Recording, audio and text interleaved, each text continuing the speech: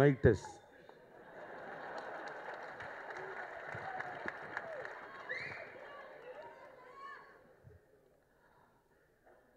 வணக்கம்.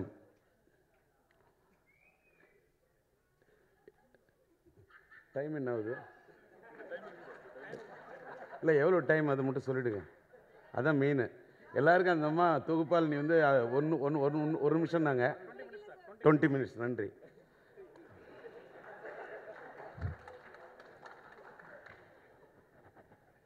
மன்னிக்க வேண்டும். எவ்வளவு நேரம் பேச வேண்டும் என்பதை தெரிந்து கொண்டு பேச வந்திருக்கிறேன் என்று கேட்டால் அதற்கான விளக்கத்தை பின்னால் தருகின்றேன். மேடையில் இருக்கக்கூடிய என் இனிய நண்பர் இயக்குனராக கதையாசிரியராக வசனகர்த்தாவாக தன்னுடைய முத்திரையை பதித்த ஒரு இனிய நண்பர் நல்ல இயக்குனர் எல்லாவற்றுக்கும் மேலாக நண்பர் என்று சொன்னேன் அந்த கே. பாக்யராஜ் அவர்களே. இந்த நிகழ்ச்சியிலே நான் கலந்து கொள்வதற்கு காரணமாக இருந்த இந்த படத்தின் இயக்குனருமாகிய பத்ரி அவருடைய குருநாதர். படங்களை மிக நகைச்சுவாக இயக்கக்கூடிய பெரிய பெரிய சூப்பர் ஸ்டார் வரை எல்லோரையும் இயக்கிய நல்ல இயக்குனர் இனிய நண்பர் சுந்தர் அவர்களே. எல்லாவற்றுக்கும் மேலாக இன்றைய திரைப்பட உலகத்தின் திரைப்பட இயக்குனர் சங்கத்தின் தலைவராக என் இனிய நண்பராக திரையுலகத்தில் ஒரு புது வசந்தத்தை ஏற்படுத்தி தன் திறமை என்பது என்றும் வானத்தைப் போல என்று நிரூபித்த என் இனிய நண்பர் விக்ரமன் அவர்களே. மற்றும் இந்த அரங்கத்திலே வந்து அமர்ந்து இன்றைக்கு திரைப்பட தொழிலாளர் சம்மேளனத்தின் தலைவராக இருக்கக்கூடிய என்னுடைய கலை உலகத்தை சார்ந்த நண்பர் சிவா அவர்களே மற்றும் இந்த நிகழ்ச்சியிலே கலந்து கொண்டு அத்தனை பேரையும் வாழ்த்து வந்திருக்கக்கூடிய நான் வந்து பட்டியல் போட்டேன்னா நேரம் போதாது. இருந்தாலும் அத்தனை பேர் பேரை சொல்லணும். அது சொல்லாமல் போக முறை அல்ல. ஆனால் பொறுப்பில் இருக்கவங்க பெரியாது சொல்வது எனக்கு ஒரு பொறுப்பு என்ற காரணத்துக்காக தமிழ் திரைப்பட தயாரிப்பாளர் சங்கத்திலே இன்றைக்கு சிறப்பாக செயல்பட்டு கொண்டிருக்கக்கூடிய இனி நண்பர் தயாரிப்பாளர் சிவா அவர்களே இந்த படத்தின் கதையாசிரியர் எழுத்தாளனை பாராட்ட வேண்டும். நடிகருக்கு அப்பாற்பட்டு கதையின் இந்த படத்தின் எழுத்தாளராக வசனகர்த்தாக இருக்கக்கூடிய நண்பர் சிவா அவர்களே எப்படி என்று கேட்டால் நான் சிவனை எப்பொழுதும் மறப்பதில்லை. மூன்று சிவா. உலகத்துக்கே ஒரு சிவன். தென்னாடுடைய சிவனை போற்றி எந்நாட்டவருக்கும் இறைவா போற்றி. அப்படிப்பட்ட சிவன் அந்த சிவனை மறப்பேனா? ஒரு பக்கம் தொழிலாளர் சம்மேளத்தின் தலைவர் சிவா இன்னொரு பக்கம் திரைப்பட தயாரிப்பாளர் சங்கத்தின் சிவா இன்னொரு பக்கம் நடிகர் எழுத்தாளர் சிவா. இப்படி மூன்று சிவா. இப்படி இந்த மூன்று சிவா இவர்களுக்கு மத்தியிலே நான் பேச வேண்டும் என்றது உங்களுக்கு அதை கேட்பதற்கு ஆவா?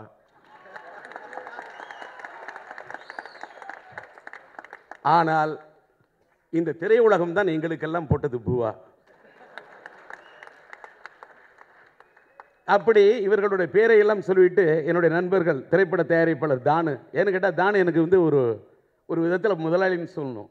என்னுடைய நண்பர் கூலிக்காரன் படத்தில் எனக்கு பாடலாசிரியராக இசையமைப்பாளராக என்னை வைத்து படம் எடுத்து ஒரு திரைப்பட முதலாளியும் கூட. ஏன்னா சினிமாவில் முதலாளிகளை மறக்கக்கூடாது.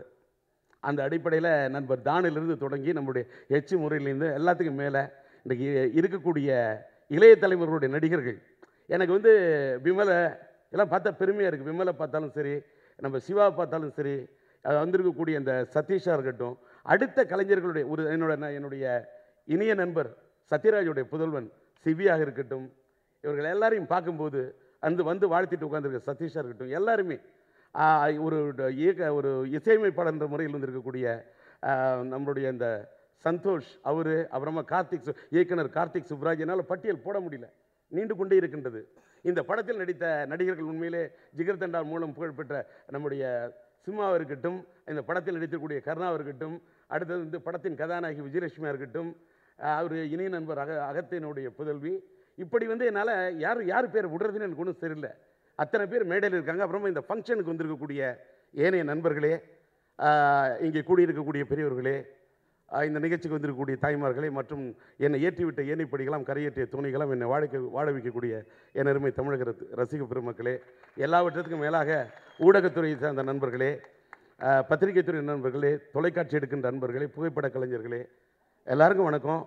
என்கிட்ட நான் இன்னைக்கு ரொம்ப இந்த டைம் இருபது நிமிஷத்துக்குள்ளே எவ்வளோ இந்த பேர்லாம் சொல்கிறது போட்டேன்னா பட்டியல் போட்டால் இதாகிடுன்ட்டு எல்லாவற்றுக்கும் மேலே இந்த நிகழ்ச்சிக்கு நான் வர்றதுக்கு மூல காரணம் இந்த படத்தின் தயாரிப்பாளர் சுதீர் அவர்கள்.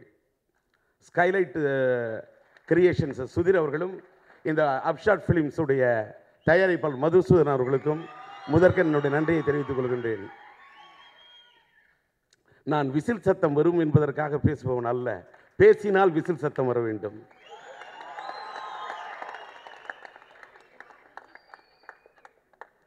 நான் பல மேடைகளை பார்த்தவன் பல கைத்தட்டல்களை பார்த்தவன் பல விசிலை பார்த்தவன் பல போராட்டங்களை பார்த்தவன். அதனால் எனக்கு வந்து இன்றைக்கி ஒரு தர்ம சங்கடமான சூழ்நிலை. இந்த நிகழ்ச்சிக்கு நான் வரத்துக்கு என்ன? எப்பயுமே ஒரு சித்திரம் இருக்கிறது என்று சொன்னால் சுத்து சித்திரம் சுவரை நினைத்து பார்க்க வேண்டும். சுவர் இல்லாமல் சித்திரத்தால் வாழ முடியாது. அதை போல சித்திரம் அடுத்து யாரை எண்ணி பார்க்க வேண்டும் என்று சொன்னால் சுவர் கூட அடுத்தது. தன்னை தீட்டிய கரத்தை தான் சித்திரம் எண்ணி பார்க்க வேண்டும். ஒரு எந்த சித்திரத்தை கரம் தீட்டுகிறதோ சித்திரத்தில் இருக்க வேண்டும் தரம். அது இருந்தால்தான் சித்திரமாகும் விசித்திரம். அப்படி ஒரு சித்திரத்தை தீட்டிய கரத்தை சித்திரத்தை தாங்கக்கூடிய சுவற்றை எண்ணி பார்ப்பதைப் போல இன்னைக்கு வரைக்கும் நான் என்னை உருவாக்கிய தயாரிப்பாளர்களையும் என்னை உருவாக்கிய இந்த திரையுலகத்தையும் நான் எண்ணி பார்க்கக்கூடியவன். இன்னைக்கு நான் மேடையில் இன்னைக்கு நிற்கிறேன் நல்லா என்று சொன்னால் அதற்கு காரணம் இன்ஷா அல்லாஹ் பிஸ்மில்லா பிரைஸ் அலாட் மதங்களுக்கெல்லாம் அப்பாற்பட்டு எல்லாம் இல்லை இறைவன். அந்த இறைவனோட அருளால் தான் இன்றைக்கி நான் மேடைக்கு வரேன்னு சொன்னேன் எனக்கு வந்து இன்றைக்கு கொஞ்சம் கூச்சமாக இருக்குது சிறப்புரை என்று போட்டு விட்டார்கள். சிறப்புரை என்று போட்டு விட்டதுக்கு பின்னாடி டி. ராஜேந்தர் எம்ஏன்னு பட்டம் போடலை. எனக்கு வேணாம். ஏன்னா அது நான் படித்து வாங்கின பட்டம். சினிமாவில் இத்தனை வருஷம் இருந்திருக்கிறேன். ஒரு நாள் கூட என் பேருக்கு முன்னாடி நான் பட்டம் போட்டுக்கிட்டதே இல்லை. நான் அந்த பட்டத்தெல்லாம் நம்புறதில்ல. ஏன்னா சினிமாவில் பட்டம்லாம் அப்பப்போ பறந்துடும் இதுதான் உண்மை. பட்டம் ஆகிவிடும் சமயத்தில் தம் பட்டம். நான் ப நான் படித்து வாங்கின பட்டம் மட்டும்தான் எனக்கு நிரந்தரம். அதை உணர்ந்துருவேன். அதனால் யார் நம்மளை உருவாக்குறாங்களோ அவங்க நினச்சி பார்க்கணும். அது மாதிரி இந்த ஃபங்க்ஷனுக்கு நான் வரத்துக்கு என்ன காரணம்? அப்படின்னு பார்க்கும்போது சுதிர்.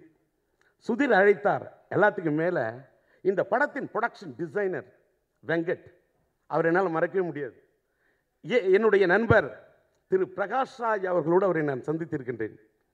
அப்படிப்பட்ட அவர் தயா படத்துக்காக என்னுடைய சிம்பு கார்டனில் டிஆர் சிம்பு கார்டனில் செட்டு போடுறதுக்காக வந்த அந்த வெங்கட் அன்று தொற்று பழக்கத்தோ இந்த படத்தை டிசைன் பண்ணி கொடுத்துருக்கக்கூடிய அவர் இதுக்கு நீ வரணும்னு நினைக்கின்றார்.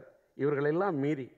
திரைப்பட உலகத்திலே என்னால் உருவாக்கப்பட்ட டிஸ்ட்ரிபியூட்டர் எனக்கு பணத்தை கொண்டு வந்து படம் எடுத்தால் என்ன நான் எம்ஜி சொல்கிறேனோ எஃப்ஹெச் சொல்கிறேனோ போட்ட திருவண்ணாமலை மீனாட்சி திரையரங்கத்தை நடத்தி கொண்டிருந்த இனிய நண்பர் ஜெய்குமார் மற்றும் அவரோடு வந்த திருப்பதியை சார்ந்த திரையரங்கத்திலே படம் போடக்கூடிய இனிய நண்பர் சுந்தரம் இவர்களுடைய அன்பு வேண்டுகோளுக்கு எல்லாத்துக்கும் மேலே இந்த நிகழ்ச்சிக்கு போக வேண்டும் என்று அன்பு இவர்களுடைய அன்பு அடைப்பை ஏற்று சென்று வர வேண்டும் என்று சொன்ன என்னுடைய இளைய சகோதரன் அதாவது என்னுடைய தம்பி வாசு.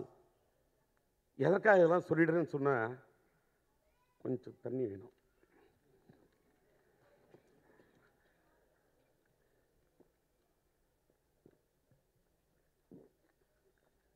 இது எல்லாத்துக்கும் மேலே என்னை இந்த விழாவுக்கு வர்றதுக்கு இம்ப்ரெஸ் பண்ணது ஒரு இதயம்.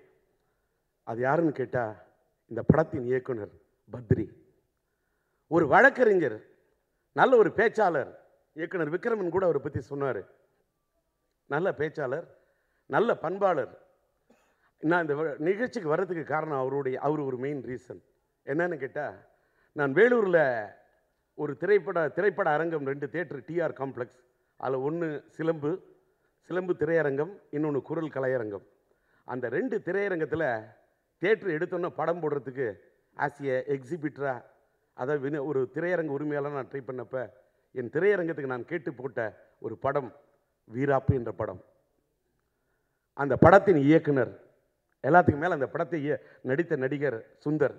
என் திரையரங்கத்தில் நான் ஒரு படம் போட்டதுக்கே அந்த படம் போட்டால் அவங்களுக்கு பெருமை. ஆனால் என் தேட்டரில் அந்த படத்தை கேட்டு நான் நார்த் ஆர்காடு டிஸ்ட்ரிபியூட்டர் வாங்கி அந்த திரையரங்கத்தில் அந்த போட்ட அந்த படத்தை கொடுத்த அந்த இயக்குனரைக்கு என்னை அழைத்த போது நான் திரும்ப அந்த மரியாதையை கொடுத்துடணும். அந்த மரியாதைக்காக வந்தேன். எல்லாத்துக்கும் மேலே இந்த ஃபங்க்ஷனுக்கு டி ராஜேந்தர் வராரா? அவர் வந்தாக்கா சிங்கப்பூரில் இருக்கக்கூடிய நான் வரணும்னு என் தாய் சொல்கிறாங்க என் தாயோட அந்த அன்புக்காவது நீங்கள் வர வேண்டும் என்று சொன்ன அவருடைய வார்த்தை அது மட்டும்தான் நீங்கள் வர வச்சது எல்லாரும் வாழ்த்ததுனதை விட அந்த தாய் எங்கே இருந்தாலும் ஒரு தாயின் சபதம் எடுத்தவன் தாய் தங்கை பாசம் எடுத்தவன் ஒரு தாயின் சபதம் எடுத்தவன் தாய் தங்கை பாசம் எடுத்தவன் என் தங்கை கல்யாணம் எடுத்தவன் தங்கைக்கு ஒரு கீதம் எடுத்தவன் தாய்மார்களுக்காக எண்ணற்ற படம் எடுத்தவன். அந்த தாயோட அந்த உணர்வு அந்த தாய்மார்கள் என் மேலே வச்சிருக்கக்கூடிய அன்பை வெளிப்படுத்தி அவங்க நீங்கள் வரணும்னு நினைக்கிறாங்க என்று அவர் சொன்னார அவர் நான் வர வேண்டும் என்று நினைத்தார். அவர் நினைத்த காரணத்தால் என்னுடைய விழிகளை உண்மையிலேயே ஆனந்த கண்ணீரால் நினைக்கின்றேன். இப்படிப்பட்ட ஒரு மகனை ஈன்றெடுத்து அவருக்கு இந்த ஒரு மரியா எல்லாம் இந்த உலகத்தில் சினிமாவில் வெற்றிலாம் வரும் சார். என் இணைய நண்பர் பாக்கியராஜ் பார்க்காத வெற்றியா? இயக்குனர் பாரதி ராஜா அவர்கள் பார்க்காத வெற்றியா? இயக்குனர் கே. பாலச்சந்தர் அவர்கள் இயக்குனர் சிகரம் அவர் பார்க்காத வெற்றியா?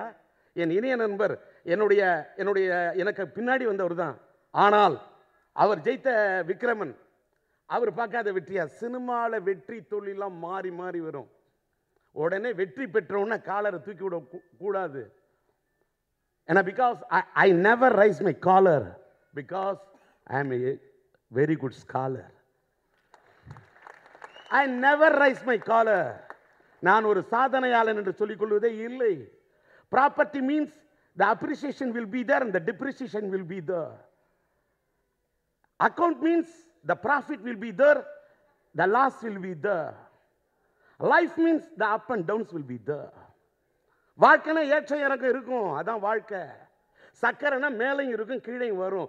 சக்கரையும் மேலையும் கீழையும் மாறி மாறி வந்தால் தான் சக்கரம் ஓடும். நான் மேலேயே இருப்பேன்னு சொன்னால் ஒரே இடத்துல நிற்கும் இதுதான் வாழ்க்கை. வாழ்க்கைங்கிறது ஒரு சக்கரம் அது சுற்றிக்கிட்டே இருக்கணும். அந்த வாழ்க்கைங்கிற சக்கரத்தில் வெற்றி தோல்வி என்ன பண்ண லைஃப் எல்லாரோட வாழ்க்கையும் மோராலஸ் இட்ஸ் சேம் எப்படின்னு கேட்குறீங்களா life it's a game sometime sometimes only it i mean we will get the name we will get the fame sometimes we have to face the our shame because life is the game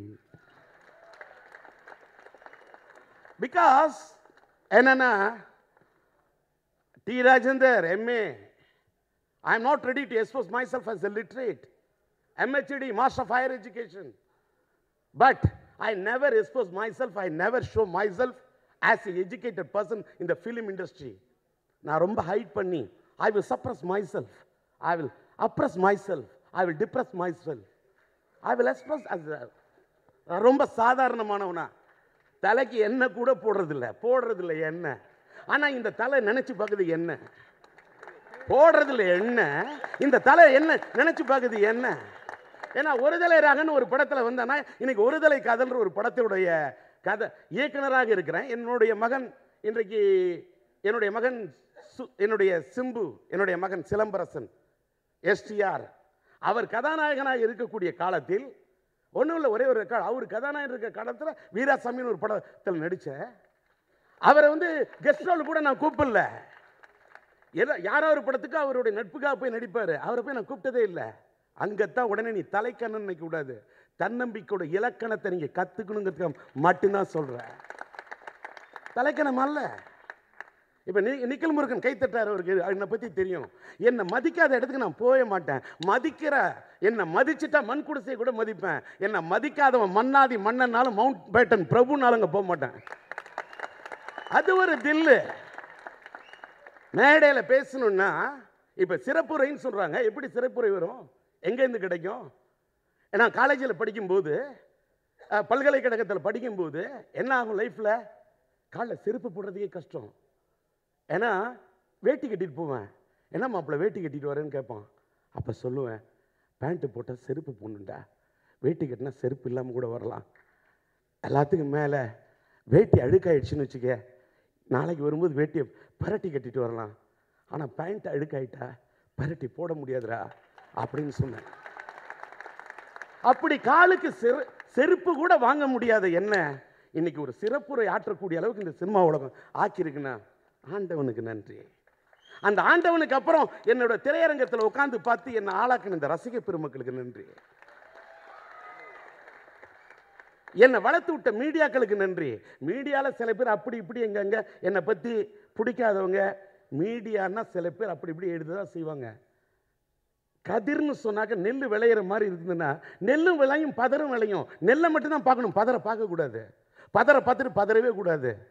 லைஃப்பில் உங்களுக்கு நான் என்ன சொல்கிறது தெரியுமா? இப்போ என்னன்னு கேட்டால் இதெல்லாம் பற்றி பேசணும். ரொம்ப நேரம் எனக்கு கொடுக்கப்பட்ட டைம் ரொம்ப to be frank with you this time is it's not enough for me to express my views இன்னொன்று அதுக்கு காரணம் என்னோட மை டைம் வாழ்க்கையில் டைம் என்பது என்னன்னு கேட்டால் டைம் ரொம்ப முக்கியம். ஏன்னா why I am talking about this time means I am doing the research இந்த ஆர்எஸ்கோப் அந்த நியூமராலஜி அந்த நேமியாலஜி எல்லாத்தையும் பற்றி நான் ரிசர்ச் பண்ணுறேன் more than thirty five years இப்போ நான் வந்து விக்ரமன் சார்ட்ட கொஞ்ச நேரம் பேசிட்டு இருந்தேன். நீங்கள் ஏன் தாடி வச்சிருக்கீங்கன்னு எனக்கு தெரியும். நீங்களும் வைத்திருப்பது தாடி நானும் வைத்திருக்கிறேன். தாடி நான் உங்களை நீங்கள் இங்கே வந்திருக்கிறீர்கள். தேடி நீங்கள் அருகில் அமர்ந்திருக்கிறீர்கள். நாடி. நான் பிடித்ததும் உங்களுடைய பிடித்து பார்த்ததுண்டு உங்களுடைய நாடி. திரையுலகத்தில் வெற்றியோ தோல்வியோ நான் போனதில்லை. வாடி. வெற்றியோ தோல்வியோ நான் போனதில்லை வாடி. காரணம் நான் பல கட்டங்களில் சூடி இருக்கிறேன். வாகை சூடி. நின்று இருக்கிறேன் வாகை சூடி. ஆனாலும் தோல்வி கண்ட போது நான் போனதில்லை வாடி. ஏன்னு கேட்டா லைஃப்ல வெற்றி தோல்வி மாறி மாறி வரும். இதுக்கெல்லாம் காரணம் என்ன தெரியுமா? ஒன்லி த டைம் ஐ மீன் த நேரம். பேரத்தில் பேர் நேரம் வாட்ஸ் மீனிங் ஃபார் த நேரம்? அதை அப்படியே ஸ்பிளிட் பண்ணி பாருங்க. அக்கார்டிங் டு த ஃபனட்டி ஃபெனட்டிக்ஸ் என்ன பார்த்தீங்கன்னா அந்த நேரம் அதை பிரித்து பார்த்தால் நேரம். அதில் இருக்கு பாருங்க ரம்மு ரம் அடித்தவன் எப்படி? தம் அடிக்கிறவன் உலகத்தில் தம் அடிக்கிறவன் ஸ்டைலை பாருங்க. ட்ரம் அடிக்கிறவனை விட தம் அடிக்கிறவன் ரொம்ப ஸ்டைலாக அடிப்பான். ஏன்னா உலகமே இவன் கையில் பாரு இது பாரு.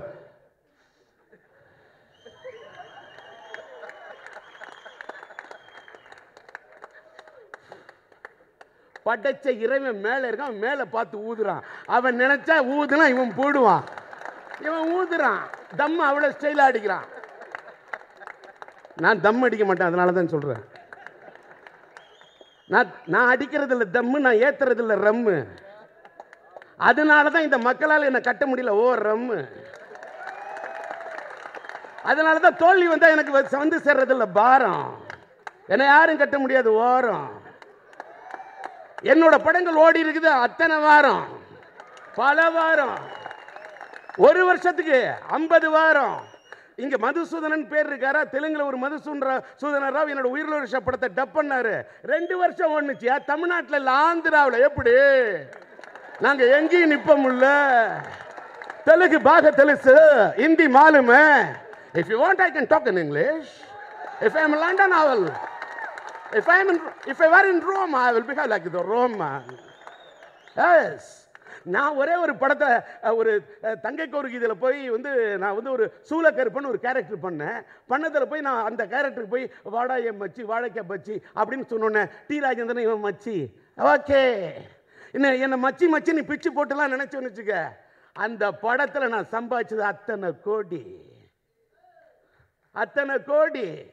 என்னை பார்த்து எல்லாம் சொல்லுவான் நீ என்ன பெரிய ஹீரோவா அப்படின்னா நான் இல்லைப்பா ஹீரோ அப்படின்னு அப்புறமா சொன்னேன் நான் ஹீரோ இல்லை இல்லை நீ ஜீரோ ஹே நான் ஹீரோ இல்லை இல்லை நீ ஜீரோ பார்த்தேன். என்னடா சார் நான் ஹீரோ இல்லை இல்லை நீ ஜீரோ நீ அச்சி மச்சி நீ டண்டனக்கா? அவ்வளோதான் உனக்கு தெரியும். ஏய் ஏய் டண்டனக்கா நீ சொல்றிய? AR Rahman working with T Rajendar once upon a time he was working with me as a keyboard player Oscar வாங்கின ஏஆர் ரகுமன் என்ன இன்ஸ்பிரேஷன் என்னை இன்ஸ்பயர் பண்ண மியூசிக் டைரக்டர் யாருன்னா டி ராஜேந்தர்னு சொல்லக்கூடிய இடத்துல நான் இருக்கேன். நீ என்னை பற்றி சொன்ன டண்டனக்கா சொன்னா என்ன சொன்ன நான் சம்பாதிச்சிருக்கேன் பணம் டன் கணக்கா நீ சொல்ற டண்டனக்கா எப்படி? என்னோட நாலேஜ் தெரியுமா? ஒரே ஒரு நாள் mic why just you put the mic you give the platform என்னை பார்த்து ஒருத்தன் கேட்டான் டி ராஜேந்தர் நீங்கள் வந்து உங்களுக்கு வாழ்க்கையில் இன்னும் ஒரு பெரிய பிளாட்ஃபார்ம்லாம் இருக்குது கிடைக்கணும். பெரிய பிளாட்ஃபார்ம் கிடைச்சிக்கணும் ஒருத்தன் மாயத்தில் இருந்து சொன்னான் என் ஊரில். நான் உடனே சொன்னேன் எனக்கு ஆண்டவன் இது கொடுத்தே போகிறோம் நான் மாயத்தில் பிளாட்ஃபார்த்தில் நின்று தட்டி தட்டி பாடிக்கிட்டு இருந்தேன். நான் அங்கேயே நின்றுக்கிட்டு இருந்தேன்னா அந்த பிளாட்ஃபார்மில் நின்றுட்டு இருந்து பாடிக்கிட்டு இருந்தேன்னு வச்சுங்க என் வாழ்க்கை ஆயிருக்கும் தரிசு. இந்த அளவுக்கு சினிமாவில் கடவுள் ஒரு பிளாட்ஃபார்ம் கொடுத்துருக்காரு இதுவே பெருசு. இதுக்கு மேலே ஒரு பிளாட்ஃபார்ம் ஆண்டவன் கொடுத்தா அது பரிசுன்னு. நீ உடனே டி ராஜேந்தர் தரிசுன்றான். டி டி ராஜேந்தர் ஆ, பெருசுன்றான். டி ராஜேந்தர் பரிசுன்றான். அப்படின்லாம் நினைச்சா ஒவ்வொரு வேர்டுக்கு ஒரு மீனிங் இருக்கு. இன்னைக்கு சொல்றேன் இன் த- இன் தமிழ். தமிழாக இருந்தாலும் சரி ஆங்கிலமாக இருந்தாலும் இந்த alliteration not only in Tamil if you want you create the platform அன்னைக்கு சொன்ன பத்ரிகிட்ட பேசி காமிச்சினேன். As a lawyer I was supposed to become a lawyer I finish my LLB also I done my PhD also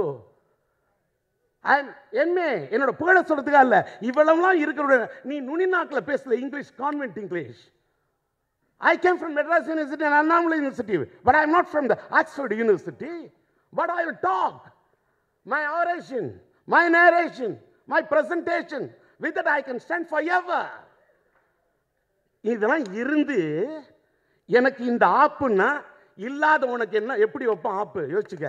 இதுக்கு தான் சொல்கிறேன் ஏன் பெருமைக்காக சொல்ல? இவ்வளவு திறமை இருக்கிறவனே பண்ணுவான் கிண்டல். கடற்கர் கிண்டல் பண்ணானா கடற்கரைக்கு போகிறோன்னு வச்சுக்கோ. இப்போ எனக்கு முன்னாடி நம்ம நண்பர் நடிகர் ஸ்ரீகாந்த் சார் வந்து பேட் பிடிச்சாரு. அவர் அவர் ஸ்ரீகாந்த் ஸ்டைல் அவர் பிடிச்சிட்டாரு. நான் கிரிக்கெட் பிளேயர் ஸ்ரீகாந்த் சார் அவர் ஸ்டைல் அவர் பிடிச்சார். நான் போனேன். கிரிக்கெட் பிடிச்சிட்டு நான் என்னால் போஸ்ட் கொடுக்க முடியும் நான் கொடுக்கல.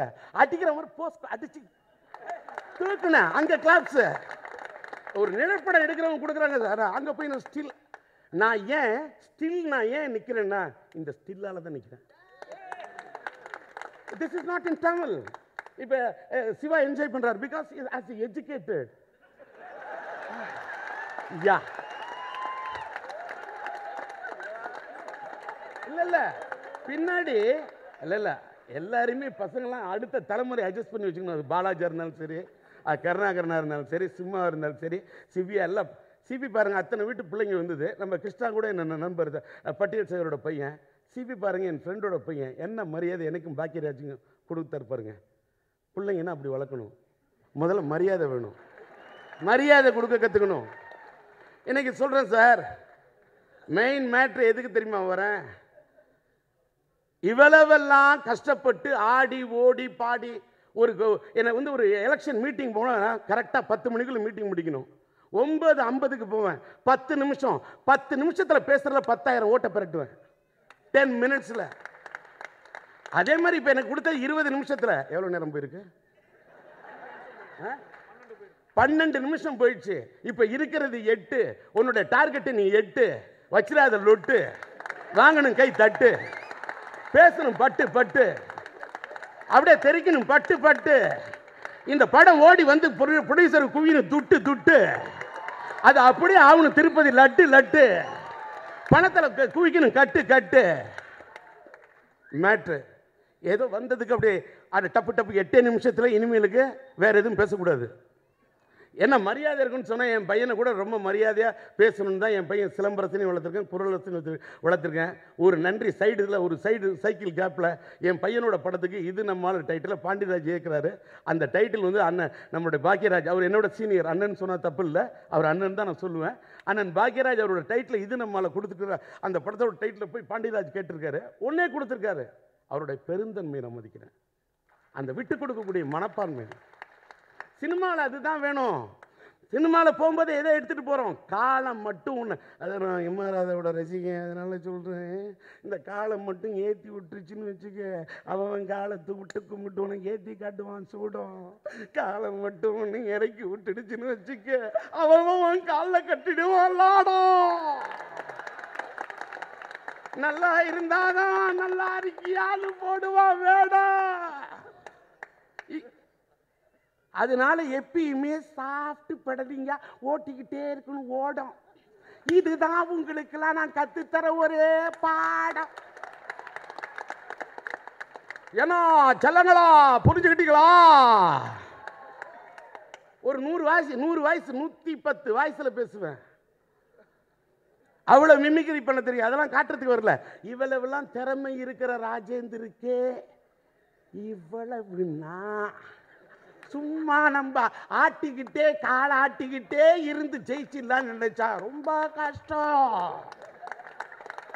இங்க சினிமா உலகத்துல நீ நல்லா மார்க்கெட் இருந்தா யூ ஆர் கிரேட்னுவான் யூ ஆர் கிரேட் மார்க்கெட்டு கொஞ்சம் கம்மி ஆயிடுச்சுன்னா திறக்காத கேட்டு அப்படின்றான்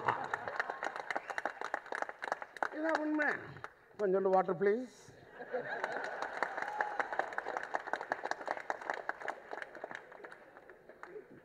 எவ்வளோ கஷ்டம் பாருங்க. ஏன்னா இப்போ டயட்டில் இருக்கிறேன். ஒன்று சினிமாவில் நடிக்கணும் இல்லை தடிக்கணும். ஒரு தலை காதல் நடிச்சிட்டு இருக்கேன். இங்கே இன்னைக்கு விஜய் மில்டன் வேற வராமல் போயிட்டார். பரவாயில்ல அவரை பற்றி பேசிட்டு இருந்தேன்.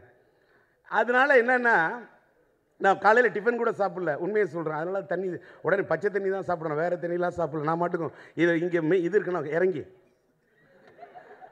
அதெல்லாம் பண்ணலை. நான் ஓப்பன் இதோட டைரக்ஷனில் நீ தப்பாக புரிஞ்சுக்கிட்ட நான் பொறுப்பு இல்லை. நான் உனக்கு என்ன செட்டப் பண்ணி கூப்பிட்டு வந்திருக்கிறேன்? அதெல்லாம் தப்பு. எவ்வளோ கலகலப்பாக பேசிகிட்டு இருக்கேன் பத்தியா? நானும் ரொம்ப வீரமாக என்னதை தமிழ்நாட்டு மக்களே உங்களை. அதெல்லாம் வேலைக்கு ஆகாது இனிமே இங்கே. ட்ரெண்டு சேஞ்சு கலகலப்பாக படம் எடுக்கணும். கலகலப்போட டைலாக் ரைட்டரு கலகலப்படுத்த நம்ம ஆள் இருக்கார்ல பத்ரி இந்த படத்தை கலகலப்பாக எடுத்திருக்கிறாரு. அது அவருக்கு கிடைச்ச வெற்றி. கலகலப்பாக இனிமே ரொம்ப ஜோவியலாக படம் எடுக்கணும். அந்த கலகலப்பு வந்து அவர் வந்த ஸ்கூலு சுந்தர் சா சுந்தர் சி அவர்கிட்ட கற்றுட்டு இருக்காரு அந்த அவரோட குருநாதர் மேலே உள்ள பற்ற பார்க்குற அவர் ஜெயிச்சிருவார். அடுத்து அந்த மியூசிக் டைரக்டர் பற்றி சொன்னால் அந்த ஷான் ரோல்டன் அவர் வந்து ஒரு லைவ் ப்ரோக்ராம் பண்ணி காமிச்சார். ரோல்டன் டன் வெல்டன். இதெல்லாம் இதெல்லாம் எழுதி வச்சாலாம் வராது. சிவா நீ செட்டப்லாம் பண்ணலாம்னு நினைக்காத. நீ கதவசனம் எழுதலாம். நீ ரூம் போட்டு திங்க் பண்ணும். நான் ரூ திங்க் பண்ணுறதுக்கு ரூமே தேவையில்ல. எனக்கு டீமும் தேவையில்ல. இவர் சு உங்கள் உங்கள் சுந்தர் சாரே சொன்னார் பார்த்தீங்களா நம்ம வந்து நீ என்னை ஏற்றி விட்டு எந்த மேடையில் வேணாலும் கொண்டு மொழியே தெரியாத விட்டுல மைமிங் அந்த கோபி அந்த நிகழ்ச்சி அற்புதம் கோபி. உங்களோட நண்பர் ரொம்ப சூப்பராக பண்ணீங்க. எனக்கு ரசிக்க வச்சிங்க. நம்பர் டூ அடுத்தது இந்த ஃபங்க்ஷனுக்கு வந்தேன். ஆடாமல் ஜெயிச்சோம்டா. என் கையிலே கொடுக்குறாங்க பேட்டு நான் அண்ணாமலை யூனிவர்சிட்டியில் பேட் பேட்டிங் பண்ணுவேன். நான் நான் படித்த ஏவிசியில் பேட்டிங் பண்ணுவேன். நான் படித்த நேஷனல் ஸ்கூலில் பேட்டிங் பண்ணுவேன். எத்தனை காலம் கழிச்சு பேட்டு அதனால என் கையில் இன்றைக்கி வந்திருக்கு பேட்டுன்னா அதுக்கு காரணம் என்னோட ஃபேட்டு ஏன்னா இவங்களுக்கு நான் காலையில் கொடுத்துருவேன் டேட்டு ஆனால் ஆல்ரெடி இந்த ஃபங்க்ஷன் ஆரம்பித்தது ரொம்ப லேட்டு அண்ணா நான் எனக்கு இருபது நிமிஷத்தில் கொடுத்து இவ்வளோ மேட்ரு இவ்வளோ கை நான் கைத்தட்டல் வாங்காமல் போயிட்டா பெரிய ப்ராப்ளம் ஏன்னு கேட்டால் சிறப்புரைன்னு போட்டு இந்த ஆள் என்னையா பேசுனா? அப்படின்னு இந்த தொகுப்பாளனி எல்லாருக்கும் ஒரு நிமிஷம் கொடுத்துட்டு ஒரு கூட நிமிஷம் கொடுத்து பெருசாக பொழந்து கட்டிட்டாராக்கும் அப்படின்னு போய் பின்னாடி புறம் பேசக்கூடாது. ஏன்னு கேட்டால் என்னோட படத்தில் நடிக்கூட மதுரை முத்தோட தான் நம்ம அம்மா சன் டிவியில் கலக்கிட்டு இருக்காங்க. என்ன பெரியச்சா நீ மாட்டுக்கு டிஆரை பற்றி பீத்தி பீத்தி பேசிக்கிட்டு இருந்தீங்க முத்து. அவர் என்னத்த பேசிட்டார் பெருசா?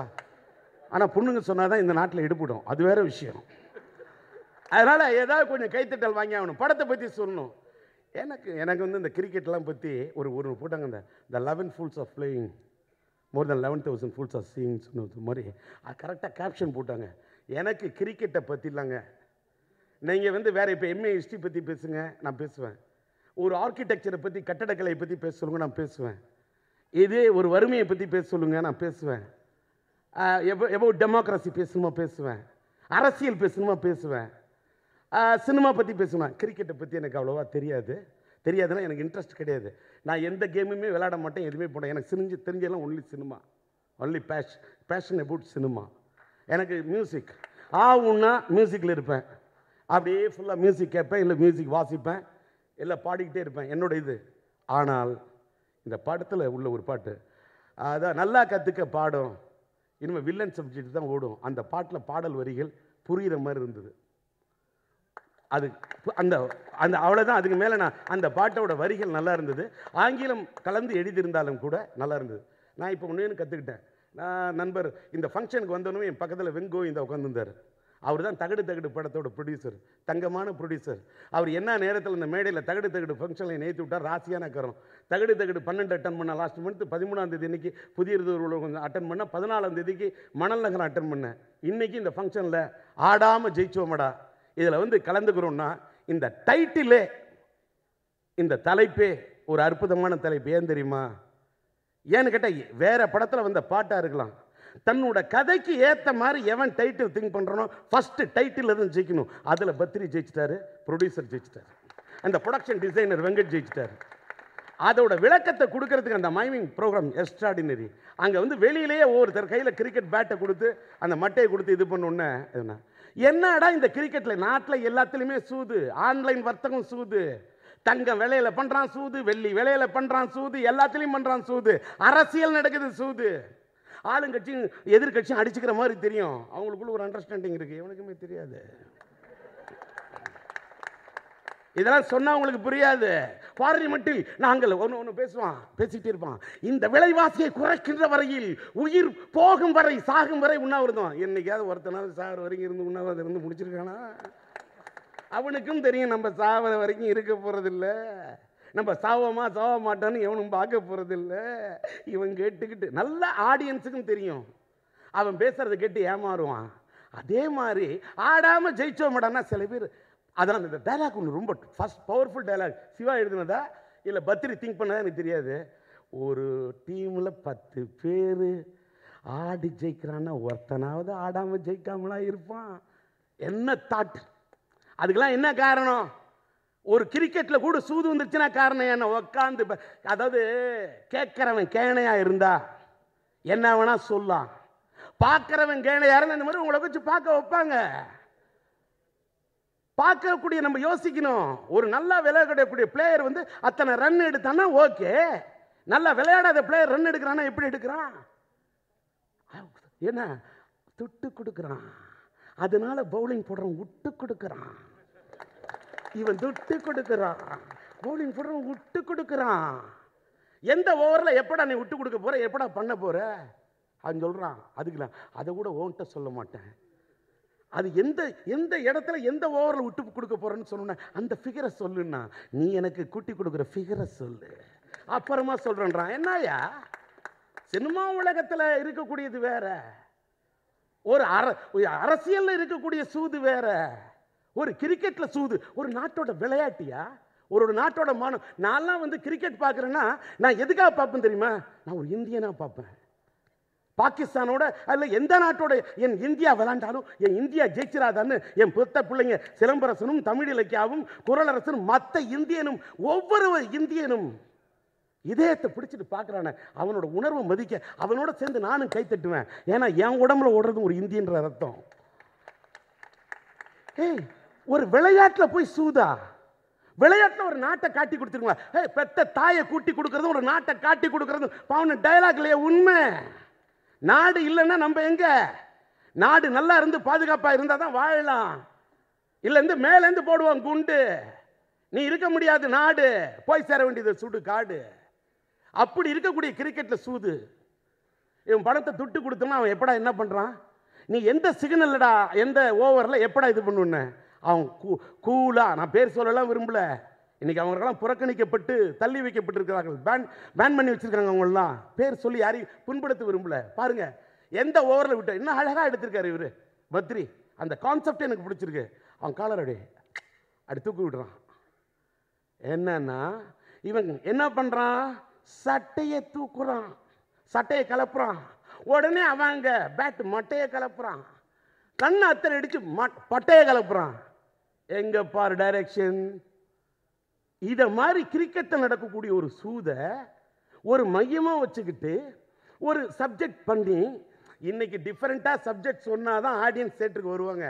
இன்றைக்கி ஒன்றே ஒன்று பாக்யராஜ் சாரை வச்சுட்டே நான் சொல்கிறேன் நாங்கள் எடுத்த படம்லாம் முந்தானை முடித்து நாங்கள் தங்கை கோர்கீதம் மின் தங்கி எவ்வளோ லேடி இன்றைக்கி லேடிஸ் படம்லாம் எடுத்தால் திரையரங்கத்துக்கு லேடிஸ் வரமாட்டேன்னு சொல்லலை லேடிஸ் வர முடியாத சூழ்நிலை டிக்கெட் ரேட் அவ்வளோ அதிகமாக இருக்குது இதுதான் உண்மை. டிக்கெட் ரேட்டு ஒரு சத்தியம் தேட்டரில் இவ்வளோ வசதி பண்ணுறாங்க செஞ்சு தராங்க டிக்கெட் ரேட்டு சாதா திரையரங்கத்துலலாம் டிக்கெட் ரேட்டு கூட இருந்தால் எப்படி மக்கள் படம் பார்க்க வருவான் ஒரு வருஷத்துக்கு புதுமுகங்கள்லாம் வச்சு படம் எடுக்கிறாங்க அத்தனை படம். ஒரு வாரத்துக்கு ஏழு படம் எட்டு படம் ரிலீஸ் பண்ணால் எப்படி ஓடும்? எந்த படத்துக்கு திரையரங்கத்தை தருவாங்க? ஒரு கோலிசோடா வெற்றி உண்மையான வெற்றி. மஞ்சப்பை என்னுடைய இணைய நண்பர் ராஜ்கர் நடித்த மஞ்சப்பை வெற்றி. ஜிகர்தண்டா சம் சென்டரில் வெற்றி. நான் டிஸ்ட்ரிபியூட்டர் தமிழ்நாட்டில் இருக்கக்கூடிய அத்தனை தேட்டரில் என்ன கலெக்ஷன் என்ன கிராஸு என்ன நெட்டு என்ன டிஸ்ட்ரிபியூட்டர் ஷேரு என்ன எக்ஸிபியூட்டர் ஷேரு நான் எம்ஜிஆர் திரைப்பட காலத்திலிருந்து மறைந்த மக்கள் தலைவர் எம்ஜிஆர் திரைப்படத்தின் காலத்திலிருந்து தேவி பட சகசியா உமா உலகம் சுற்றுவாளிபன் படத்தோட வசூல் சொல்லுவேன் அப்படியெல்லாம் சினிமாவை கத்த நான் இன்னைக்கு சொல்கிறேன் இப்படி படங்கள் வாரா வாரம் அப்படியே வந்து மழை போல குஞ்சா எப்படி திரையரங்கில் படம் ஓடும்? ஒரு ஏவிஎம் ராஜேஸ்வரி தேட்டரில் ஐம்பது ரூபா டிக்கெட்டு கூட்டத்தை பாருங்கள் ஜே ஜேன்னு இருக்கு. பழைய குருடி கதையை தரவிடின்னு சினிமாவில் எடுத்தோம்னா லேடிஸ் படம் எடுக்கணும்னா திரையரங்கத்தில் டிக்கெட் ரேட்டு கம்மியாக இருந்தால் மட்டும்தான் ஓடும். தகடு தகடுன்னு ஒரு படம் எடுத்திருக்கிறாரு வெண்கோவிந்தா திருட்டு விசிடியை ஒழிக்கணும்னு. ஏன் ஒழிக்க முடியல? நான் கேட்குற மேடையில் சம்மேளன தலைவர் சிவாயை வைத்துக் கொண்டு சொல்கின்றேன் தயாரிப்பாளர் சங்கத்தைச் சேர்ந்த இந்த சிவாயை வைத்துக் கொண்டு சொல்கிறேன் எங்கள் இயக்குனர் சங்கத்தின் தலைவர் விக்ரமனை வைத்துக் கொண்டு சொல்கிறேன் திருட்டு விசிடி வந்தால் என் படத்துக்கு திருட்டு விசிடி வந்தப்ப மக்கள் தரம் எம்ஜிஆர் ஆட்சி காலத்தில் எல்லா பேரையும் பூந்த அடிக்க சொன்னேன். உதைக்க சொன்னேன். கடையெல்லாம் உடைச்சேன். எத்தனை கேஸ் தெரியுமா? எல்லாத்தையும் ஃபேஸ் பண்ணேன். மூணு முதலமைச்சர் எதிர்த்து போராடினவனா சும்மா போகிறோம்ல இழந்திருக்கிற அத்தனை கோடி. அதனால தான் துணிச்சலாக நிற்கிறான் இந்த தாடி. அதனால தான் டி. ராஜேந்தர் பேசுகிறான்னா கூட்டம் நிற்கிது கூடி. டிராஜனை தமிழ்நாட்டை விட்டு ஓடல ஓடி. ஒரு கேள்வி கேட்கிறேன். ஆந்த இதே கர்நாடகத்துக்கு நான் போறேன். இதே ஆந்திராவுக்கும் போறேன். கர்நாடகத்தில் ஒரே ஒரு திருட்டு விசிடி காட்டுங்க. ஏன் முடியல? பயப்படுறான். ஆடியன்ஸ் அடிப்பான். உதப்பான். ஏன் ஆந்திராவில் திருட்டு விசிடி வரல. ஆந்திராவில் டிக்கெட் ரேட்டு கம்மி. காம்ப்ளெக்ஸ் இருக்கு சாதாரண தேட்டர் இருக்கு. சாதாரண தேட்டரில் டிக்கெட் ரேட்டு கம்மி. ஜனங்க வராங்க. ஆந்திராவின் இருக்கக்கூடிய அந்த ரசிகர்கள் இருக்கும் திசையை பார்த்து கை கூப்புகின்றேன்.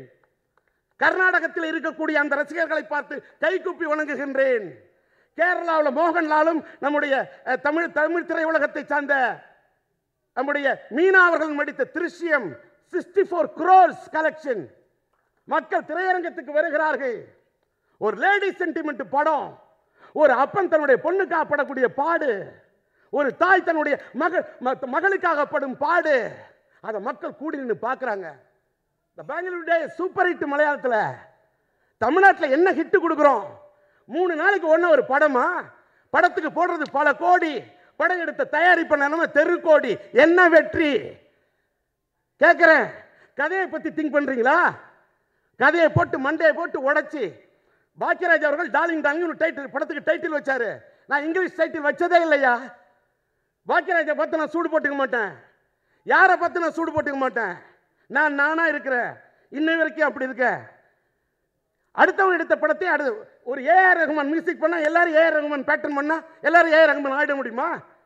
எண்பத்தி ஆறு music director last year keyboard வாசிக்கிறவங்க music டைரக்டரா பாடல் என்ன பாட்டு ஹிட்டா இருக்கு எத்தனை பாட்டு நிற்கிது டி ராஜேந்தர் பண்ண இளையராஜா காலத்தில் நின்றுருக்கையா அதிக சம்பளம் வாங்கியிருக்கிறேன். இன்னைக்கு கூட சொல்கிறேன் இப்போ சொல்கிறேன் தானு வச்சுட்டு சொல்கிறேன் பல தயாரிப்பாளர் இருக்கு. இனிமேல் டி ராஜேந்தர் மியூசிக் பண்ணா பாதி வார்த்தை இங்கிலீஷில் தான் எழுத போகிறேன் I know English very well இப்போ உங்களுக்கு புரியாமல் பாடணும் புரியாமல் எழுதணும் அவ்வளோதானே பண்ணுறையா I work with youngsters total தானே சேஞ்சு என்ன சேஞ்சு முடியுமா முடியும்? படங்கள் எடுங்க. அது அர்த்தம் இருக்கட்டும். கதை இருக்கட்டும். யார் வந்தாலும் வெற்றி பெற்றால் உங்களை நாங்கள் வாழ்த்த தயாராக இருக்கின்றோம். ஆடாமல் ஜெயிச்சோமடா. டைட்டிலே ஜெயிச்சிட்டிங்க. ஒரு சூதாட்டத்தை கிரிக்கெட்டில் சூது இருக்கக்கூடாதுன்னு சொல்கிற வச்சு படம் எடுக்கிறதுக்கு ஒரு தில்லு வேணும். படத்தில் பார்த்த சில எனக்கு ஒரு- ஒரு ரெண்டு பாட்டு பிடிச்சிது. ஒரு பாட்டுக்கு செட்டு போட்டிருந்தாரு. அதை வச்சு இந்த இந்த டாப் டாப்பங்கள் ரொம்ப ரசித்தேன் ஏன்னா நான் டீலாக்கு இந்த செட்டு போடுறேன் எங்கள் வீட்டில் சொல்லுவாங்க எல்லா பணத்தையும் துட்டெல்லாம் கொண்டு வந்து வீட்டில் வச்சிருக்கலாம். இருந்தாலும் செட்டில் போட்டு அழிச்சிட்டான். ஏன்னு கேட்டால் செட்டு போட்டு போட்டு போட்டு எல்லாத்தையும் அப்படி எடுத்துவேன். அந்த செட்டு பாட்டை ரசித்தேன் டோட்டலாக படத்தில் இவ்வளோ நல்ல விஷயங்கள் இருக்குது இந்த விஷயங்கள் இருக்கக்கூடிய ஆ, காதை கடித்து விட்ட காரணத்தால் காலம் கடித்து கொண்டிருக்கிறது என்ற பொருள். ஆனால் இல்லை நீ இல்லைன்னா சமாளிக்காத எனக்கு தெரியும். ம். இதுக்கே டிஆர்பி ரேட் ஏறும். இதில் நான் இங்கிலீஷ் பாடுற பாட்டெல்லாம் பாடுறதா இல்லை வெங்கட்டு. நான் வீட்டில் பாடினதோட ஓகே. இப்போ மேடையில் ஒரு மியூசிக் பிட்டு கூட கொடுக்கல ஏன் தெரியுமா? உடனே டி ராஜேந்தர் வந்து அவர் என்ன இவங்களுக்குலாம் என்னன்னு கேட்டால் we have to give the ஒரு ஒரு கீபோர்டு ஒரு பேஸ் கிட்டார் ஒரு வேம்பிங் கிட்டார் கொஞ்சம் ட்ரம்ஸு ஏன்னா இதில் வாசித்தா இது? ட்ரம் கூட ட்ரம்மில் வாய்க்க வாசிக்கிறேன். ட்ரம் இல்லைன்னா தோலில் வாசித்தேன் ட்ரம் கொடுத்தா ட்ரம்மில் வாசிக்கிறேன். இனிமே எல்லாம் இனிமே உடனே கொடுத்தா T Rajendar is is fun is T Rajendar funny speaking no it's not only funny it's very shiny bar the hair கூட the hair the hair style hair style இன்ன வரைக்கும் நான் ஒன்று விற்க வச்சுட்டு வரல. எனக்கு வந்தவங்க ஒரு பையன் கொடுத்தாங்க தொப்பி. அதாவது உங்கள் குரூப் கொடுத்தாங்க. கொடுத்தாங்க குல்லா. நான் தலையில எல்லாம் வச்சுக்கிறது இல்லை குல்லா. நான் தப்பாக நினச்சிக்கூடாது ஏன் தெரியுமா? அவர் தப்பாக நினச்சிக்கணும் தலையில் ஏன் கூட ஏன் முடி ஆடினா தான் எனக்கு மூடே வரும். வேற ஒன்றும் எனக்கு முடி ஆடணும். நம்மளால் முடியுமா அப்படின்னு யோசிக்க வைக்கிறது என்னோட முடி தான் என்னன்னா என்னண்ணா முடி என்ன முடி இருக்கிறவன் தான் கோதுறான் முடிங்கிறவன் தான் மோதுறான். தப்பாக நினச்சக்கூடாது நான் த என்னோட நண்பரை சொல்ல அவர் வந்து அவர் அவர் என்னை பற்றி தப்பாக புரிஞ்சுக்க மாட்டார். நான் என்னோட ஸ்டைலில் மட்டும் சொல்கிறேன் அதனால் என்னை வெங்கட் நான் பாடுறலாம் ஐடியா இல்லை. ஆடாமல் ஜெயிச்சோமடா டைட்டில் நல்லா இருக்குது இதில் என்னன்னு கேட்டால் ஆடாமல் ஜெயிச்சவமடா டைட்டில் கிரிக்கெட்டில் எப்படி டெக்னிக்கை கா வச்சுக்கிட்டு சில பேர் துட்டு சகமாதிக்கிறானோ அதே மாதிரி சினிமா உலகத்தில் கூட நம்ம எப்படி துட்டு சம்பாதிக்கிறதுக்குன்னு ரூட்டு பண்ணோம் நம்ம சினிமா அழிஞ்சுக்கிட்டு இருக்குது. யார் படமாக இருந்தானே யார் படமாக இருந்தாலும் காப்பாற்றணும் நீ சிவாவாக இருந்தாலும் சரி விக்ரமனாக இருந்தாலும் சரி நம்ம சிவானாலும் சரி தானுனாலும் சரி. சினிமாக்காரன் நம்ம மட்டும் தான். இவர் நயம் வரேன்? சினிமாக்காரன் என்பவன் நம்ம ஒரு நமக்கெல்லாம் ஜாதி மதம் இனம் எதுவுமே கிடையாது. நம்மலாம் ஒரே ஜாதி. அதுதான் சினிமா. எனக்கு சோறு போட்டது சினிமா நமக்கு சோறு போட்டது சினிமா. அதனால் இந்த சினிமா வாழணும். இந்த சினிமா வாழணும்னா நான் என்ன கேட்குறேன்? கர்நாடகத்தில் திருட்டு விசிடி ஒழிக்கப்படுது. ஆந்திராவில் திருட்டு விசிடி ஒழிக்கப்படுது. தமிழ்நாட்டில் ஏன் திருட்டு விசிடி உழவுகிறது? காவல்துறை நினைத்தால் ஒழிக்கலாம் அல்லவா? தஞ்சாவூரில் போய் ஒரு கவியரங்கத்துக்கு போனேன் பேசினேன் அங்கே பேட்டி கொடுக்குறேன். திருட்டு விசிடி தமிழ்நாட்டில் ஒழிக்கப்படாமல் இருக்கிறது. ஒழிக்கப்பட வேண்டும். ஆட்சியாளர்கள் நினைத்தால் மட்டும்தான் ஒழிக்க முடியும். தமிழகத்தை ஆளக்கூடிய முதல்வர்களுடைய பார்வைக்கு நீங்கள் எடுத்து சென்று உங்களுடைய கோரிக்கை வைக்க வேண்டும். நான் சொல்கிறேன் அந்த அம்மாட்ட போய் உங்களால் பேச முடியும்னா உங்க மேல அந்த அம்மாவுக்கு என்னமோ ஆதங்கம். உங்க மேல அந்த அம்மாவுக்கு வருத்தம். என்ன ஒண்ணு? நீங்க எப்பயுமே யார் ஆளுங்கட்சியா இருந்தாலும் நான்லாம் வாழ்க்கையில் பல வருஷம் எதிர்கட்சியாகவே வாழ்ந்துட்டேன். என் கதையை விட்டுருங்க. நான் எப்படி இருந்தாலும் பரவாயில்ல. சினிமா உலகம் என்பது உங்களுக்கு அரசியல். அரசியல் ரொம்ப கஷ்டமான விஷயம். நான்லாம் மக்கள் தலை எம்ஜிஆர் ஆட்சி காலத்தில் இந்த அரசியலில் போகிறான்னு அரசியல்லாம் நீங்களாம் ஒரு நாள் காலையில் சாதிச்சிடலான்னு நினைக்கிறதுலாம் சு- சுலபமான விஷயம். இது இதுக்கெல்லாம் காரணம் அரசியல்லாம் வரணும்னா ஜாதகம் இருக்க வேண்டும். ஜாதகம் இருந்தால் தான் வர முடியும். நான் அரசியலில் பார்த்தது உண்டு வட்டம். நான் அரசியலில் பார்த்தது உண்டு மாவட்டம். அந்த வட்டம் மாவட்டத்தெல்லாம் பார்த்தவன். திராவிட முன்னேற்ற கழகத்தின் முன்னாள் கொள்கை பரப்பு செயலாளர் பூங்கா நகர் தொகுதியின் முன்னாள் சட்டமன்ற உறுப்பினர் மாநில சிறுசேமிப்புத்துறையின் துணைத் தலைவர் மந்திரிக்கு பதவிக்கு நிகரான பதவி ஈழத்தமிழர்கள் பிரச்சனைக்காக அந்த பதவியை ராஜினாமா பண்ணிட்டு வந்தேன். கவுன்சிலர் பதவியை ராஜினாமா பண்ண அந்த நாட்டில் மந்திரி பதவிக்கு நிகரான பதவி ரெ- சுழல் விளக்கு கார் ரெட்டு அந்த ரெட் லைட் போட்ட காரை போட்டு தூக்கி எறிஞ்சிட்டு ராஜினாமா பண்ணேன். அதுக்கெல்லாம் தமிழ்நாட்டில் மரியாதை இல்லை. நேர்மையாக ஆனா கூட கிரிக்கெட்டில் பெரிய கோடீஸ்வரன் ஆக முடியாது. இங்கே கிராஸ் கட்டு போட்டாங்க பாருங்க டைலாக்கு அதான் உண்மை. குறுக்கு வெளியில் போகணும். பைபாஸ் இருக்க? எதுக்கு ஹைவேஸ்ன்னு கேட்குறாங்க ஹைவேஸில் போனால் பேஜார். அந்த பாட்டு லைனை ரொம்ப ரசித்தேன் சப்ஜெக்ட்டுக்கு ஏன் வரேன்னா சப்ஜெக்டோட சொல்கிறேன் தமிழ்நாட்டில் அடுத்து யாரும் எழுதி கொடுக்காத வசனத்தை பேசின டி. ராஜேந்தர். அரட்டை ரங்கத்தில் ஏழு மணி நேரம் ஏழு மணி நேரம் நின்று நின்று பேசினேன் பேசின இடத்தெல்லாம் கைத்தட்டல் விழுந்தது எல்லாரும் சொன்னாங்க சக்க போடு போட்டதா சொன்னாங்க. ஆனால் சக்க போடு போட்டதை டிவியில் வைக்கல சார். சாரத்தெல்லாம் கட் பண்ணிட்டு சக்கையை தான் வச்சாங்க. அதைத்தான் மக்கள் பார்த்தீங்க. சக்கையை பார்த்ததுக்கே டி. ராஜேந்தருக்கு இந்த பேருனா சக்க போடு போட்டதை வச்சா என்ன ஆகும்? எனக்கு வேணும்னு நினைக்கிற ஒரு தொலைக்காட்சி. ட்ரை பண்ணுறேன் வரட்டும் என் கைக்கு தொலைக்காட்சி. அப்புறம் பாருங்க எப்படி பேசுகிறேன் திருட்டு விசிடியா எப்படி குரல் கொடுக்குறேன்? டிக்கெட் ரேட்டை குறைக்கணுமா? எப்படி குரல் கு- எந்த நடிகரை வாழ்த்தணும்? எப்படி வாழ்த்துறோம் சினிமா உலகத்தில் மீடியாவில் சில மீடியாக்கள் நடிகர்கள் அவ்வளவு கேவலம். நடிகைகளை அவ்வளவு கேவலம். ஒவ்வொரு நடிகர் நடிகைகளை பற்றியும் அவ்வளவு கற் உண்மையில் நடந்தா எழுதியா? டேபிள் ஒர்க்கு சினிமா கதையாசிரியர்கள் நாங்கள் கூட யோசிக்கல. அதை தாண்டி சில பேர் திரைக்கதை வசனம் எழுதிக்கிட்டு இருக்காங்க. நாடு தாங்கம்மா எல்லாமே சூது. நான் யாரை சொல்லுகிறேனோ அவர்களை மட்டும் சொல்லுகிறேன். நான் எல்லையும் பத்தொன்பதுவா சொல்லலை. சில மீடியா இன்னும் சில மீடியாவில் சில விஷயத்தை விசாரிச்சுட்டு கேட்டுட்டு தான்.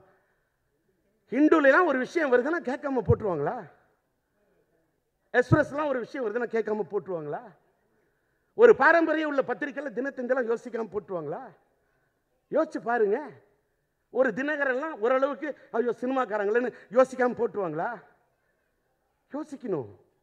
நான் என்ன சொல்கிறேன் மீடியா என்பது நல்ல விஷயங்கள் நீங்கள் பண்ணால் நாங்கள் பாராட்டுறோம். எங்களுக்கு தூக்கி விடுறது நீங்கள் தான்.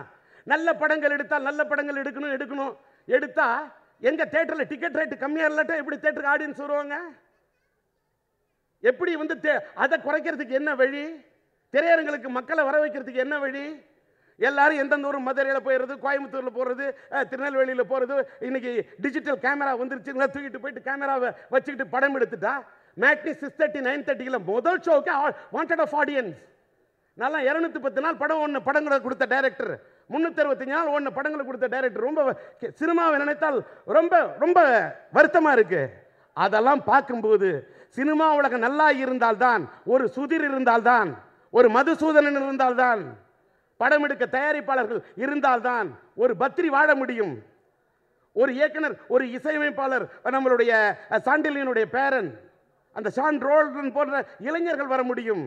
ஒரு நம்ம கருணாகரன் போன்ற பாலாஜி போன்ற நம்முடைய சிவாவை போன்ற இந்த இளங்கலைஞர்கள் எல்லாம் சிம்மாவை போன்ற கலைஞர்கள் எல்லாம் இந்த திரையுலகத்தில் நிற்க முடியும். எங்களுக்கு நம்மளுடைய சுவர் சினிமா தயாரிப்பாளர் வாழ வேண்டும். படம் படக்கூடிய தயாரிப்பாளரை ஊக்குவிக்க வேண்டும் என்று சொன்னால் புதிய இயக்குனர்கள் புதிய சிந்தனை வர வேண்டும் என்று சொன்னால் இயக்குனர்களே நீங்கள் இயக்குனர் ஆவதில் தவறில்லை. சிந்தியுங்கள். பாக்கியராஜ் அவர்கள் டார்லிங் டார்லிங் டைட்டில் வச்சுட்டார். ஒரே ஒரு படத்துக்கு மோனிஷா என் மோனலிசான் டைட்டில் வைக்கிறதுக்கு முந்நூற்றம்பது தடவை யோசித்தேன் ஏன்னா ஒரு வட சொல்லுதல் கலக்கிறது என்று. டைட்டில் பார்த்தா ஒருதலை ராகம் வசந்த அடைப்புகள் ரயில் பயணங்களில் ராகம் தேடும் பல்லவி நெஞ்சில் ஒரு ராகம் உயிர் உள்ளவரை உஷா தங்கைக்கு ஒரு கீதம் மைதில் உறவை காத்த கிளி மைதிலி என்னை காதலி ஒரு தாயின் சபதம் என் தங்கை கல்யாணி சம்சார சங்கீதம் சாந்தி எனது சாந்தி எங்க வீட்டு வேலன் பெற்றெடுத்த பிள்ளை ஒரு வசந்த கீதம் தாய் தங்கை பாசம் மோனிஷா என் மோனலிசா சொன்னால்தான் காதலா? காதல் அழிவதில்லை வீராசாமி இப்ப ஒருதலை காதல். நாங்க வந்து எதுக்கு சொல்ல வரோம் கூட கதை தெரியணும்னு நினைப்போம். டைட்டிலில் கூட ஒரு அதே மாதிரி ஆடாம ஜெயிச்சோம் அற்புதமா திங்க் பண்ணி டைட்டில் வச்சிருக்கீங்க. டைட்டிலே உங்களுக்கு கொடுத்துருக்கு வெற்றி. ஒன்றும் விஷுவல் பார்த்தோம் ஒவ்வொன்றத்திலும் சிந்தனை தெரிக்கிறது. அந்த யார்? கோரியோகிராஃபி அருமையாக பண்ணியிருக்கிற எடிட்டிங் கட்டிங் ரொம்ப அந்த இதில் என்ன வெங்காயத்தை கட் பண்ண போகிறேன்னு அந்த ட்ரைலரில் கட் பண்ணிங்க பாருங்க. எடிட்டிங் பேர் போட்டிங்களா சூப்பர் முதல்ல என்ன படத்தை ரிலீஸ் பண்ணுங்கயா அவன் வந்து அவனை ரிலீஸ் பண்ணுற இடத்துல படத்தில் நடித்த கே எஸ் ரவிக்குமாராக இருக்கட்டும். அது ஒவ்வொரு நடிகர்களும் அவருடைய பங்குக்கு ரொம்ப நல்லா பண்ணியிருக்காங்க பாடலோட விஷுவல்ஸ் நல்லா இருக்குது தாட்டு நல்லா இருக்குது என்ன எல்லாத்துக்கும் மேலே இந்த ஸ்டேஜை கொண்டாந்து இத்தனை திரையுலகத்தின் சில பேர்லாம் விட்டுருந்தா மன்னிச்சுக்கங்க. அவ்வளவு நண்பர்கள் இவ்வளவு திரையுலகத்து முன்னோடிகளையும் கீழே விழுந்திருக்கக்கூடிய எவ்வளவு முன்னோடிகள் எல்லாரையும் கொண்டாந்து மேடையில் இணைத்து இப்படி ஒரு விழாவை நடத்த காரணமாக இருந்த மதுசூதன் தயாரிப்பாளர்களுக்கும் அது மட்டுமல்ல தயாரிப்பாளர் சுதீர் அவர்களுக்கும் நம்மளுடைய ப்ரொடக்ஷன் டிசைனர் வெங்கட்டாக இருந்தாலும் சரி என்னுடைய இயக்குனர் பத்ரி கடைசியாக பத்ரிக்கு ஒன்றே ஒன்று சொல்கிறேன் நீங்கள் சொன்னதைப் போல உங்கள் தாயாருடைய எண்ணத்தை நான் நிறைவேற்றி விட்டேன் உன் தாயின் கனவை நான் நிறைவேற்றி விட்டேன் உங்கள் தாயின் கனவை நீ நிறைவேற்றுவாய் என்று நம்புகிறேன் தோழா. அது மட்டும்தான். இன்றதுனா அது ஈன்ற போதும் பெரிது அன்னை தன் மகன் சான்றோன் என கேட்ட தாய் என்று சொல்வார்கள். உன்னை நீ அழைத்து வந்தது நீ. அதாவது அ- நான் ஒரு ஜோதிடக்காரன் என்ற காரணத்தால் சொல்கிறேன். நான் சொன்ன அரசியல் வட்டம் மாவட்டம்லாம் பார்த்தேன் அதை வச்சுலாம் ஜெயிக்க முடியாது சார். பன்னெண்டு கட்டம். அந்த ஜோதிடம் மட்டும்தான் ஜெயிக்கும். மேஷம் ரிஷபம் மிதுனம் கடகம் சிம்மம் கன்னி துலாம் விருச்சிகம் தனுசு மகரம் கும்பம் மீனம். இந்த பன்னெண்டு கட்டம் அதில் தான் இருக்குது. திட்டம் சட்டம் பட்டம் எல்லாமே. அதே மாதிரி இருபத்தேழு ஒன்பது கிரகம். சூரியன் சந்திரன் செவ்வாய் புதன் வியாழன் வெள்ளி சனி ராகு கேது. ஒன்பது கிரகம். இதில் தான் உலகம். இருபத்தேழு நட்சத்திரம். அஸ்வினி பரணி கிருத்திகை ரோஹிணி மிருகசிஷம் திருவாதிரை புனர்பூசம் பூசம் ஆயில்யம் மகம் பூரம் முத்திரம் அஸ்தம் சித்திரை சுவாத்தி விசாகம் மனுஷம் கேட்டை மூலம் பூராடம் உத்திராடம் திருவோணம் அவிட்டம் சதயம் பூரட்டாதி உத்திரட்டாதி. ரேவதி இருபத்தேழு நட்சத்திரம். யாரும் நினைச்சுக்காத நான் பெரிய நட்சத்திரம் நீ பெரிய நட்சத்திரம்னு. நட்சத்திரம் கை கொடுத்தாதான் நட்சத்திரம். அப்போ தான் உன்னால் பட படைக்க முடியும் சரித்திரம். இல்லைன்னா வாழ்க்கையில் பிடிச்சிரும் தரித்திரம்.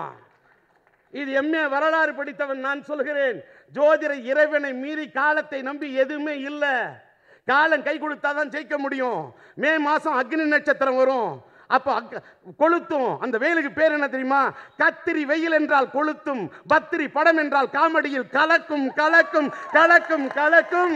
கைத்தட்டல் காதை பிளக்கும் பிளக்கும் பிளக்கும். என்று பத்ரி அவர்கள் இந்த படத்திலே சும்மா எதுக்க போனா நீ எழுதி கருப்பு பருப்பு செருப்பு. ஏய், நடக்காது டி ராஜேந்தர் பேசினா அடுக்கு மொழி அல்ல அது அர்த்தம் உள்ள மொழி ஆணித்தரமான மொழி. எழுதி வச்சு படிக்கல தட்டி விட்டா தமிழ் தடக்கு தடக்கு தடக்கு தடக்கு தடக்கு தடக்கு தடக்கு வரும். வரும் நட. அது திறந்து விட்ட மட. என்ன வேணா கேள்வி கேட்டா சொல்லுவேன் விட. அதனால தான் என்னால் திரட்ட முடியும் இளைஞர் பாட. இந்த கேள்விக்கெல்லாம் எதிர்காலத்தில் சொல்கிறேன் விட. இன்னைக்கு கொடுத்தது சிறப்புரை. இதே மாயரத்துல படிக்காம நானும் அறகுறையாக இருந்தால் ஆயிருப்பேன் அறகுறை. எம்ஏ எம்ஹெச்டி படித்த ஆவல அறகுறை. மச்சான் படிக்காதடா. சரக்கு ஏற்றுனா ஏத்துல. ஏத்திருந்தா ஏத்திருப்பேன் ஒர. ஆனால் இன்னைக்கு ஆற்றிருக்க முடியுமா? சிறப்புரை. எப்படி? அதனால இதெல்லாம் ஒரு ஆர்ட்டு இதெல்லாம் நீ வந்து நான் ஒரு நூற்றி ஐம்பது ஸ்டைலில் பேசுவேன். என்னோட ஒரு ஸ்டைலை வச்சுட்டு தங்கச்சி. அவ்வளோதான் உனக்கு வரும். உன் ரேஞ்சே அவ்வளவுதான். இதோ பாரு எனக்கு தங்கச்சியும் தெரியும். நான் ஆளுங்க க- கட்சி ஆக்கணும் பல கட்சியும் தெரியும். என்ன நான் முப்பத்தி ஆறு வருஷம் கேட்டார் வி- விக்ரமன். நான் முப்பத்தாறு வருஷமா பண்ணியிருக்கேன் ஜோதிட ஆராய்ச்சி. எனக்கு தெரியும் அடுத்து வரும் யார் ஆட்சி? முதலமைச்சராக இருக்கிறவங்களுக்கும் சரி பிரதம மந்திரியாக இருக்கிறவங்களுக்கும் சரி ஜோதிடம் சொல்லக்கூடிய அளவுக்கு இருக்குது ஜோதிட அறிவு. ஊருக்கே ஜோதிடம் சொல்ல தெரிஞ்ச எனக்கு. ஏன் ஜோதிடம் தெரியாதா? ஆ? முப்பத்தி நாலு வருஷத்துக்கு முன்னாடி ஏவிசி காலேஜில் எடுத்த படம். அந்த காலேஜுக்கு முப்பத்தி நாலு வருஷம் கழிச்சு இப்போ தான் கூப்பிட்டு டி ராஜேந்தர் அக்செப்ட் பண்ணான்.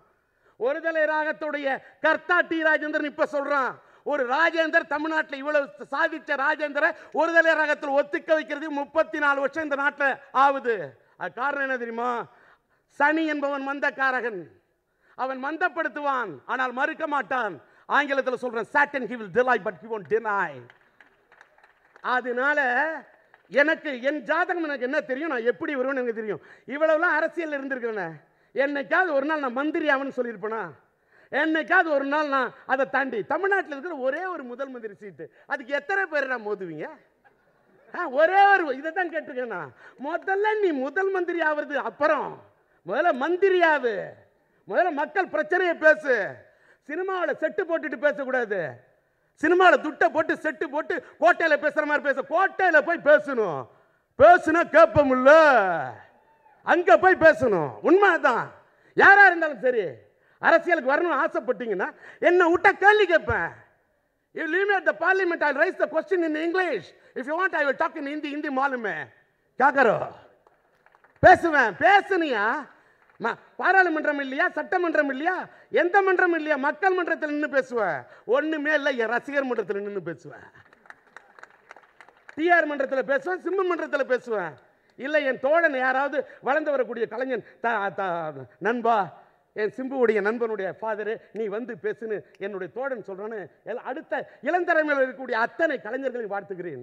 இந்த படத்தில் நடித்த அத்தனை நட்சத்திரங்களையும் வாழ்த்துகிறேன். இந்த படத்தின் இசையமைப்பாளரை வாழ்த்துகிறேன்.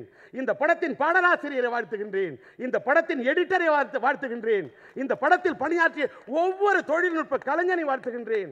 ஒவ்வொரு எங்களுடைய படத்தில் பணியாற்றின அத்தனை இந்த ஆடோமா ஜெயிச்ச முடல் இது பண்ண? என்னுடைய நண்பன் நிக்கில் முருகனை வாழ்த்துகின்றேன். இப்படி ஒரு அற்புதமான ஃபங்க்ஷனு அப்படி பண்ணி எல்லாத்துக்கும் மேலே தங்களுடைய பொன்னான காலை நேரத்தில் அழைத்த அழைப்பை ஏற்று மனதார வாழ்த்த நல்ல மனதோடு வந்த எங்கள் சிறப்பு விருந்தினர்கள் அத்தனை பேரையும் என்னுடைய மனமார்ந்த நன்றியை இந்த திரைப்பட குழுவினர் சார்பாக ஒரு சிறப்புரை ஆற்றுகின்றவன் என்பவன் சிறப்பாக உரையாற்றுவது மட்டுமல்ல இந்த நிகழ்ச்சியை சிறப்பித்தவர்களுக்கு நன்றி கூறி விடைபெறுகிறேன். நன்றி வணக்கம்.